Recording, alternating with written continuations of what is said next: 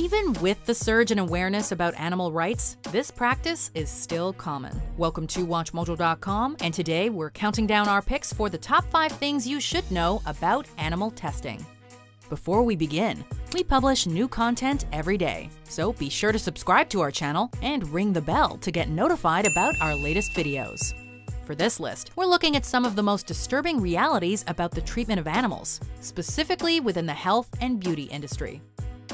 Number 5. As many as 100 million animals are affected each year. While the tides may be changing in some parts of the world, animal testing is still rampant worldwide, even in North America. According to the USDA, anywhere between 12 and 27 million animals are involved in animal testing at any given time in the United States alone. According to PETA, however, that number exceeds 100 million. And while the vast majority of these subjects are mice and rats, those aren't the only species. In addition to small household animals like guinea pigs, hamsters, and rabbits, there are also dogs, cats, and chimpanzees involved. In the US alone, the USDA has reported that 60,000 dogs and 20,000 cats were used for testing in 2015. Number 4. It arguably isn't very effective. For the most part, testing done on animals does not directly translate to the production of a safe and effective product for humans. It shouldn't come as a surprise that mice and humans aren't exactly built the same way. Scientists have long found that cancer treatments in mice didn't translate to humans, leading some in the field to discredit animal-based cancer research across the board. The same is true for AIDS vaccines. Drugs that are effective in preventing the simian equivalent of HIV have failed when used in human trials. Number 3. It is banned in many other markets.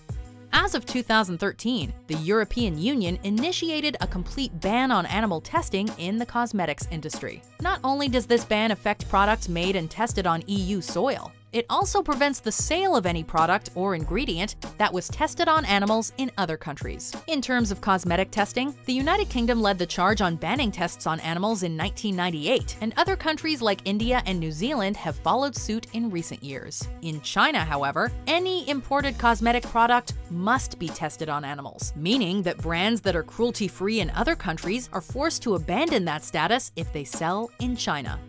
Number 2. The NIH spends a ton on animal research.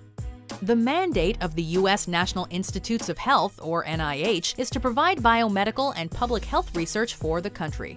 Founded in 1887, this government agency has an annual budget of over $30 billion. The NIH provides research grants in a variety of different medical fields, but their reports show that nearly half of the projects they fund have a component of animal testing involved. Advocates have estimated that this means approximately 10 to 14 billion goes towards testing on animals every year. Thankfully, as of 2018, there are talks within the NIH about shifting towards more ethical, non-animal methods, at least in terms of toxicity tests. Number 1. The USDA endorses it. The United States Department of Agriculture is responsible for the legality of animal welfare in the country, though their primary responsibilities involve laws concerning farming, agriculture, forestry, and food. Because their mandate is so broad, animal rights can often be left by the wayside. The USDA's Animal Welfare Act of 1966 is the only major law that protects animals in the United States. The AWA provides stipulations for animals involved in research testing, but the law excludes mice, rats, and birds, which are the creatures who make up 95% of all animals tested on in the country. The law also does not prevent specific types of experiment, no matter how painful or deadly.